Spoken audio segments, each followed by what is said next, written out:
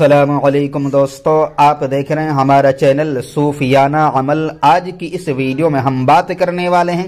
ہر پریشانی کو دور کرنے کا ایک بہترین خاص مجرب عمل۔ آپ کی زندگی میں کوئی ایسی پریشانی ہے یا کوئی بھی پریشانی ہو تو الحمدللہ ہر پریشانی کو دور کرنے کے لیے، غربت کو دور کرنے کے لیے، رزق کی تنگ دستی کو دور کرنے کے لیے، دشمنوں سے، دشمنوں کو ذلیل و خوار کرنے کے لیے ایک بہترین، کامیاب، خاص، مجرب عمل۔ آج ہم آپ کے لیے پیش کر رہے ہیں۔ بہت ہی پیارا خوبصورت ویڈیو ہے، آپ سے گزارش کرتے ہیں۔ ویڈیو کو دل سے لائک کر کے آگے ضرور شیئر کر دیں۔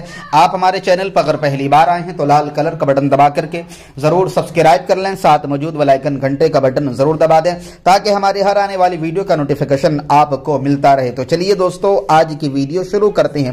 انسان اپنی زندگی میں کسی نہ کسی چیز یا بات کو لے کر کے بہت زیادہ پریشان رہتا ہے۔ کبھی وہ رزق کی تنگی کو لے کر کے پریشان رہتا ہے کبھی کاروبار نہیں چلتا ہے، کبھی کوئی زندگی میں ایسا معاملات آتا ہے کہ جس کو پورا کرنا ضروری ہوتا ہے، مگر وہ معاملات پورا نہیں ہو پاتا ہے۔ یا کورٹ، کچہری کا معاملہ ہو، یا بیوی کے جھگڑے ہوں، یا پریوارک جھگڑے ہوں، بہرحال کوئی بھی آپ کی زندگی میں پریشانی ہو تو الحمدللہ یہ عمل اپنے آپ میں ایک نایاب اور قرآنی عمل ہے۔ ہر پریشانی کو دور کرنے کے لیے۔ چلیے، بہرحال سب سے پہلے میں آپ کو عمل پڑھ کر کے سنا دیتا ہوں۔ آپ کی اسکرین پر نظر آ رہا۔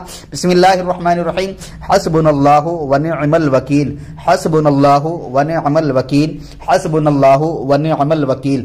اب اس عمل کا طریقہ یہ رہے گا کہ آپ کو تھزڈے جمعرات کے دن سے عمل پڑھنا ہے یعنی کہ بدھ کا دن۔ گزرنے کے بعد جو رات آتی ہے، وہ جمعرات کی رات کہلاتی ہے۔ اسی رات سے آپ کو عمل شروع کرنا ہے۔ چاند دیکھ کر تین دن گزرنے کے بعد جو جمعرات آئے گی، وہ نوچندی جمعرات کہلائے گی۔ اسی جمعرات سے آپ کو عمل شروع کرنا ہے۔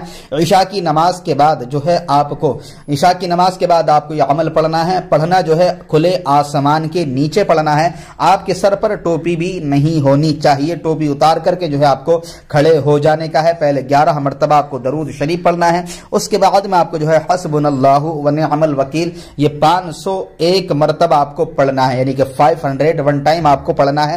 اسی طریقے سے جو بھی آپ کا مقصد ہے، جو بھی آپ کی پریشانی ہے، جو بھی آپ کا غم ہے، جو بھی آپ کا رنج ہے، جو بھی آپ کی فکر ہے، اس کو مد نظر یعنی کہ ذہن میں رکھتے ہوئے اس کو جو ہے روزانہ آپ پڑھ لیجیے گا۔ بس کم سے کم جو ہے آپ اکیس دن، زیادہ زیادہ چالیس دن یا اس سے بھی زیادہ آپ پڑھ سکتے ہیں۔ اللہ نے چاہ تو چالیس دن کے اندر اندر آپ کی کیسی بھی پریشانی ہوگی ہوگی۔ میرے رب کے فضل سے وہ دور ہو جائے گی۔ بہترین کامیاب خاص عمل ہے۔ ہر پریشانی، ہر غم، ہر رنج، ہر فکر کو دور کرنے کے لیے ضرور آزمائیں، فائدہ اٹھائیں۔ ہمارا کام تھا ویڈیو آپ تک پہنچانا۔ آپ سے گزارش کرتے ہیں ویڈیو کو دل سلائق کر کے آگے ضرور شیئر کر دیں تاکہ دوسرے لوگ فائدہ حاصل کر سکیں۔ آپ ہمارے چینل پر اگر پہلی بار آئے ہیں تو لال کلر کا بٹن دبا کر کے ضرور سبسکرائب کر لیں۔ ساتھ موجود والا والائکن گھنٹے کا بٹن ضرور دبا دیں۔ ہم دعا کرتے ہیں کہ آپ جہاں بھی رہیں، خوشحال رہیں۔ اللہ تعالیٰ آپ کے اور آپ کے پریوار کے حفاظت فرمائے۔ السلام علیکم اللہ حافظ۔